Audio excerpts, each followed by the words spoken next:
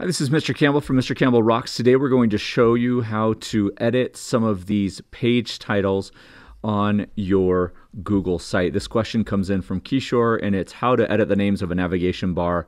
And so let's jump into it. So you're going to go to sites.google.com and you'll want to make sure that, that you're picking your site that's published. So this is the one that I have that's published. So I'm going to open up this Google site and what you'll see here is that I have these different headings across the top or pages. So when I go over to pages, you'll see that I have a list of four pages right here. When I click on the three dot menu, I click on properties and I can change the name of that page or that heading right there. When I'm done, I hit done. You'll see that it's changed there.